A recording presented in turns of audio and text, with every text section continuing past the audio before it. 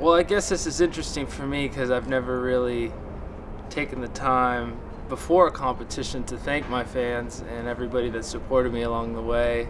Um, I can't do it without you. I mean, you're the best. You, you support me through my decisions I make. This is the the, the training regimen. Um, you show up to the contests. You guys watch it on TV, and um, and I feel it. I feel the support, and I want to say thank you guys. Uh, Half Pipe Finals is tomorrow, and um, I'm beside myself. I want to do the best, uh, not only for myself but for you guys. So, wish me luck, and uh, here we go.